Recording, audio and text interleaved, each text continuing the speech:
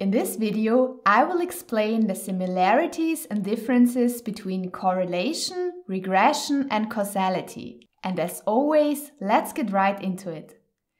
As you already know from our video on correlation, correlation analysis examines the relationship of variables. But beware, later in this video we will discuss in detail why a correlation does not necessarily mean there is a causal relationship. One question might be Is there a correlation between the age at which a child speaks his or her first sentences and the later school success? If the correlation analysis shows that the two characteristics are correlated, we could now investigate whether there is a causal relationship. If there is a causal relationship, School success could be predicted by the age at which a child speaks his or her first sentences using a regression. So the question now is do we have a causal relationship in our example? In this case, the answer is very easy because we have a temporal separation. If there is a correlation between the age at which a child speaks his or her first sentences and the later school success, it is clear that the time at which a child speaks his or her first sentences influences later school success and not the other way around. Later school success cannot influence the age at which a child speaks his or her first sentences. But beware, it's not always that easy. Let's look at the next example. Let's say at the end of the school time, you make an intelligence test with pupils and ask them about their high school grade.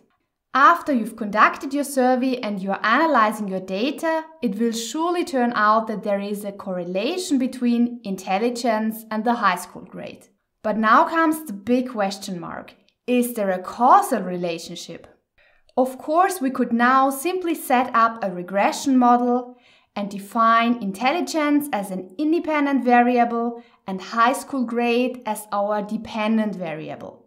Then we could predict the high school grades by using intelligence. But this is not a proof of causality. I think now we can look at what causality means and under which conditions one can speak of causality. Causality means that there is a clear cause effect relationship between two variables.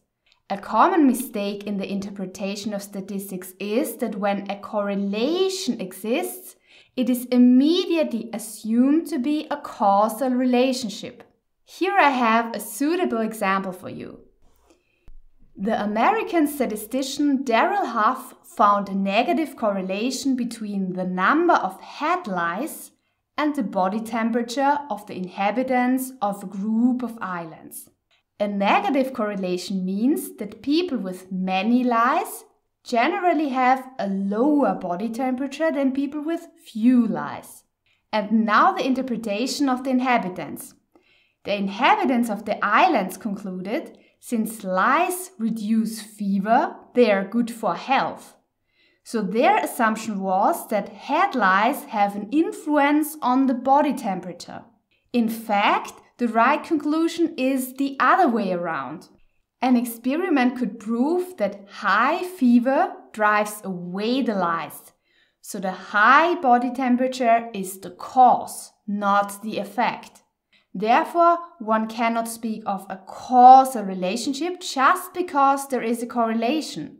For causality, there are exact preconditions. But what are the conditions for causality? When can we speak of a causal relationship? There are two conditions for causality. First, there is a significant relationship that is a significant correlation. This precondition is of course quite easy to test. We simply take the correlation coefficient and check if it is significantly different from zero. The second condition can be satisfied in two ways. First, it is satisfied if there is a temporal ordering of the variables. So variable A was collected temporally before variable B. Furthermore, the second condition can be fulfilled if there is a theoretically founded and plausible theory in which direction the causal relationship goes. If neither of the two is true, which means that there is neither a temporal order nor can the causality be justified by a well founded theory, then we can only speak of a relationship, but never of causality. Thus, it cannot be stated that variable A influences variable B or vice versa.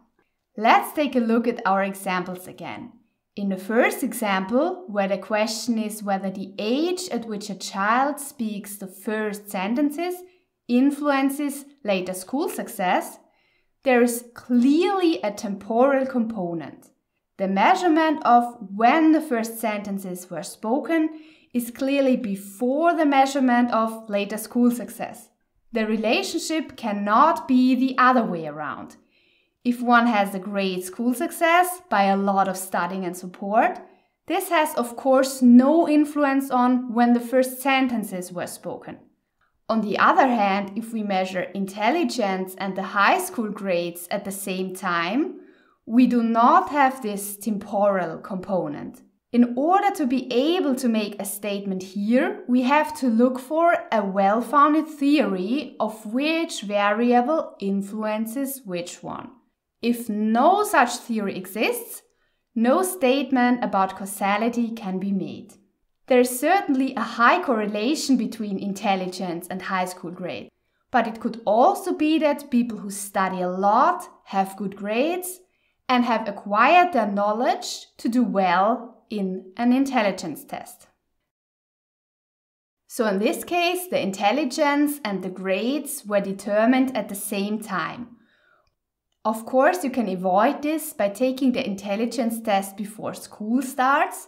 Then you can be sure that the school had no influence on the intelligence test. For sure, this requires a lot of time and effort because you get the results many years later and the same people have to be interviewed at two different times.